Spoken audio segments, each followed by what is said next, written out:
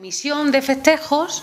pues eh, después de celebrar más, alguna comisión de festejos, se celebró una primera donde, donde se vio, donde el técnico del área trajo una serie de giras de las que se estaban celebrando este año, de artistas destacados, porque creo que el criterio que siempre hemos seguido es que sean conciertos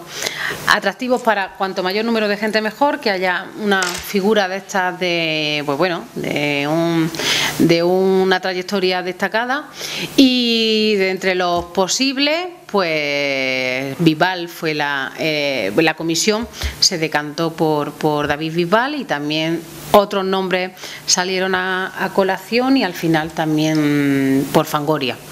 Y esa es la propuesta que la comisión hace. Nosotros ahora mismo no hay ningún contrato cerrado ni firmado, también tengo que decirlo, tengo que decirlo así, la propuesta que la comisión hace y ahora la comisión pues la ha hecho extensiva a las empresas que se dedican a esto para ver quiénes, quiénes se animan a, a traer ese cartel a la Feria de Linares.